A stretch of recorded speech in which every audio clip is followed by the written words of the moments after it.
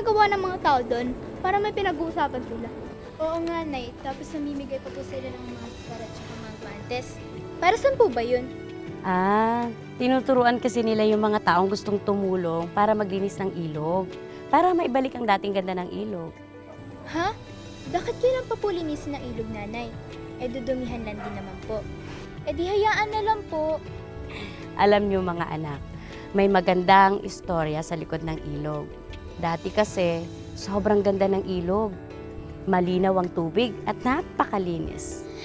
Gano'n po kaganda, Nanay! Alam niyo mga anak, mas may higit na taong dapat magkwento sa inyo yan. Kaya tara na, uwi na tayo.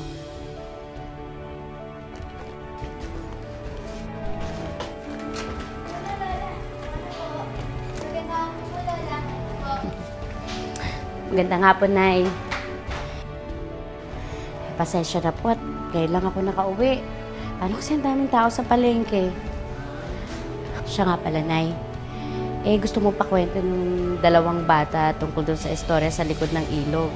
Eh, sabi ko kasi, ikaw ang masigit na nakakaalam. Japo! Potpot! Akala ko ba gusto niyo magpakwento ng istorya? Oo nga pala! Opo, opo! Oh, siya, sige. Maiwan ko na kayo, ha? Lola, Lola!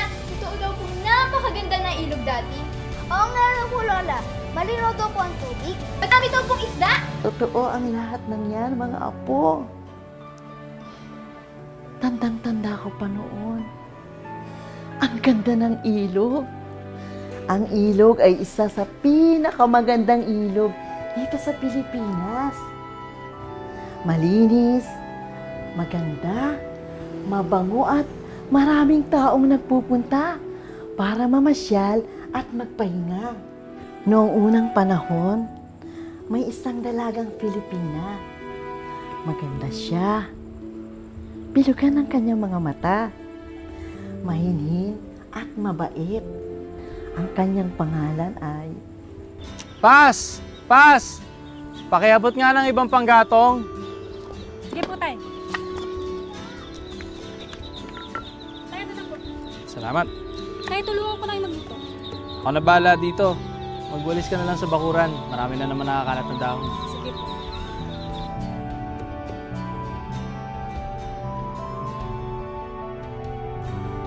Mm. Pas. What a beautiful name.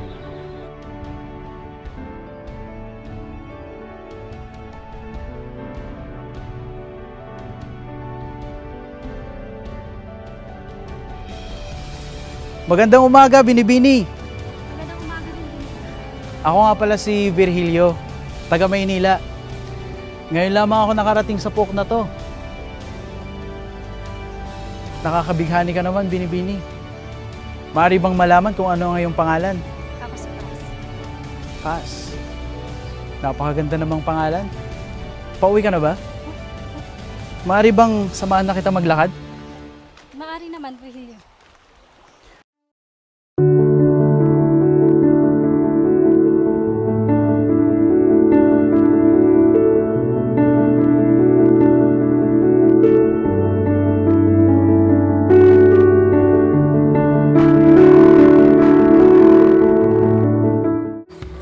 Nagkakilala si Paz at si Virilio. Nabighani ang binatang taga Maynila. Simula nito ay hindi niya na makalimutan ang ganda ni Paz.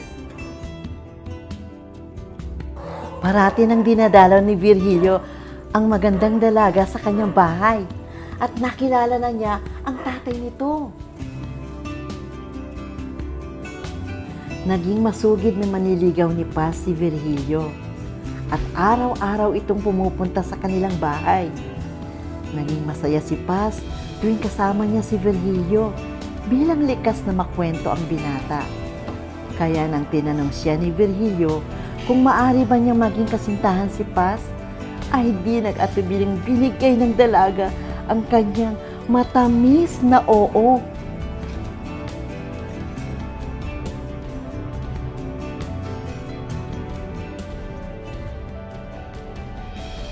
Paz, napakaganda ng panahon, no? Maaari ba kitang ayain mamangka? Maari naman. Tara na. Nangyayaya ni Virgilio si Paz para mamangkasan napakagandang ilog. Pinapanood nila ang paligid nito. At namamanga sila sa ganda ng ilog. At habang binabaybay nila ang kahabaan ng ilog, ay may nangyaring hindi nila inaasahan.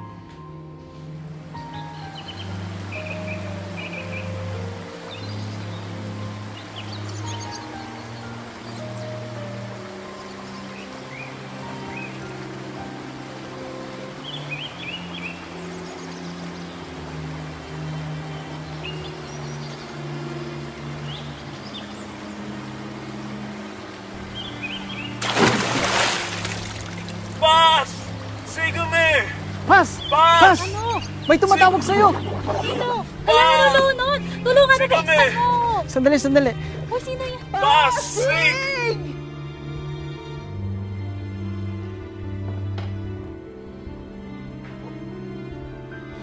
Kaya tinawag ito ng ilog Pasig. Ay dahil sa huling salitang binitawan ng binatang Espanyol bago siya tuluyang mamaalam. Lola, nakakayak naman palang kwento. Sa likod na pangalan ng ilog. Nay! Diyan po! Pot-pot! Handa na ang merienda. Halika na kayo dito sa lamesa. Oh, huwag na kayong umiyak.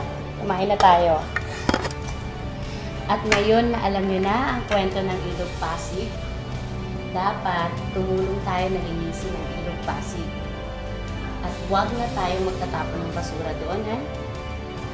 Opo, Mama. Ibalik natin ang dating ganda ng Ilog Pasig.